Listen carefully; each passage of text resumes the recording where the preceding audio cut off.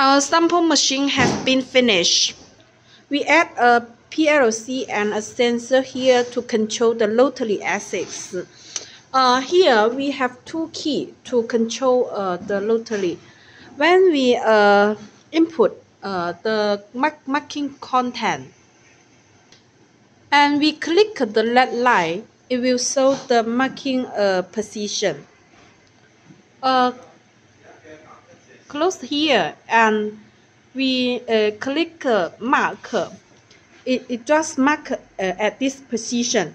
But uh, we click uh, the green uh, uh, green button.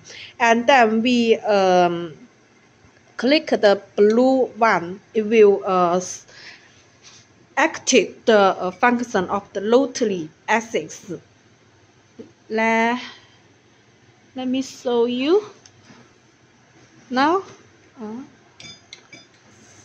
right? It will stop marking. It is very easy. If you uh, press here.